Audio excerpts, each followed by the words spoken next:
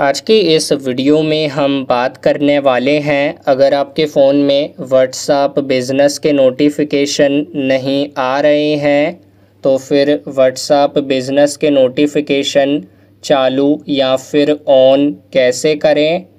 तो यहाँ पे इसके लिए आप अपने फ़ोन की सेटिंग्स ओपन करिए।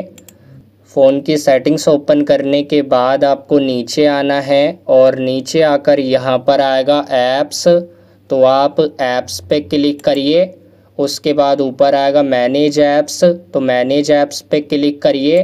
ये मैनेज ऐप्स आपके फ़ोन में ऐप मैनेजमेंट नाम से हो सकता है।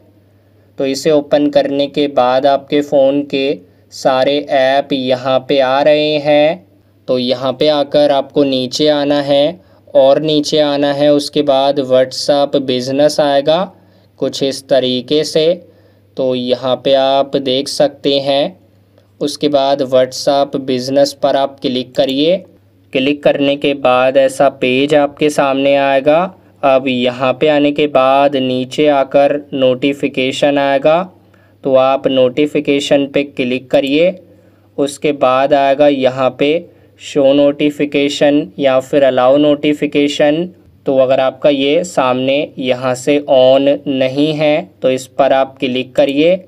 क्लिक करने के बाद अब ये ऑन हो गया है। अब इसे चालू करने के बाद ये जो नीचे ऑप्शन आ रहे हैं, ये सारे ऑप्शन ऑन करिए कुछ इस तरीके से।